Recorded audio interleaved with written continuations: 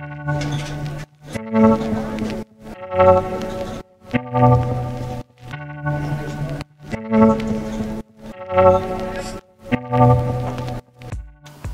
up everyone? So this video is going to be based on this oil filter wrench uh, sent to me by Senzeal Auto. It's I think maybe uh, $22 right now for this uh, wrench and it pretty much adjusts from the smallest filter you can possibly have to the largest filter.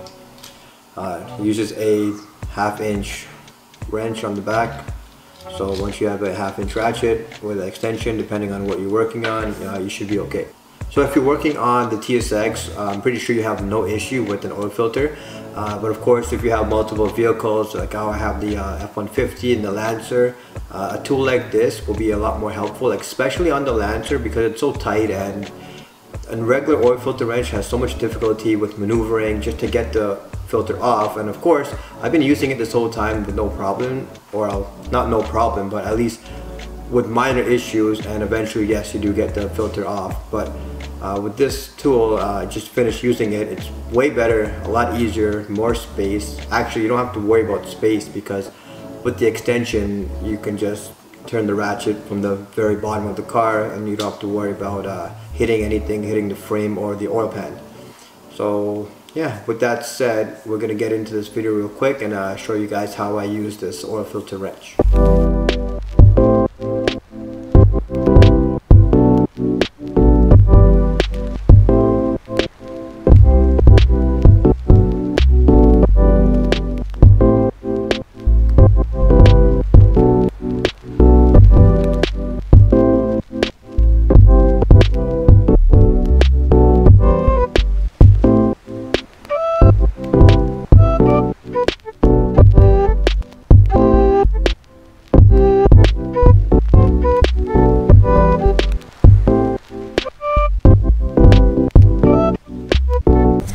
Alright guys, so real quickly I just want to show you the other oil filters I got. So uh, this one is the one I use for the Lancer the most. Uh, that's because I had to put some tape around it just to make it tight enough with not enough space in there. Like it's uh, it's terrible. I'll show you. This is actually a smaller one. I don't really use too much. And this is the same size as this just with a longer handle uh, you use for the truck.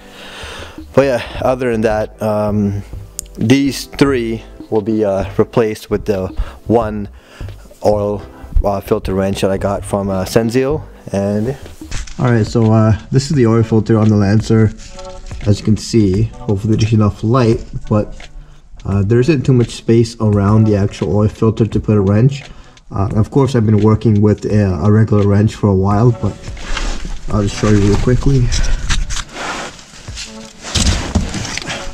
Alright, so my yellow taped up oil filter wrench. Alright, so pretty much you've got things, the frame all around here. You've got that in the way. So your really only option is to go from here to here. That's all the mobility you've got. Which sometimes isn't enough if it's on there tight and this also has tape on it right? So uh, we're gonna hope that with the new uh, Senzeal oil filter wrench that it's a bit better. Sure just grab onto it and turn all right so we've got our uh, extension on there with the uh, oil filter wrench.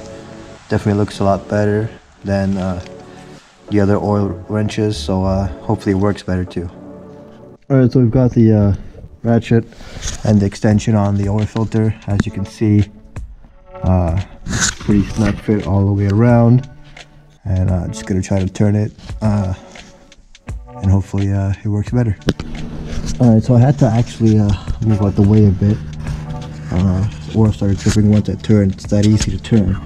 But you see once you've got the ratchet on it just turn the whole filter turns and yeah as you can see, it's pretty easy to remove the oil filter with this wrench.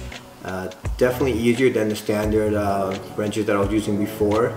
So I would recommend getting this product. I'm going to post a link to the product, the link to the website, uh, the link to the Amazon uh, purchase order for it. And yeah, hopefully uh, if you like the tool, you can buy it from Senzeal Auto. And once again, thanks to Senzeal Auto for sending me this oil filter wrench.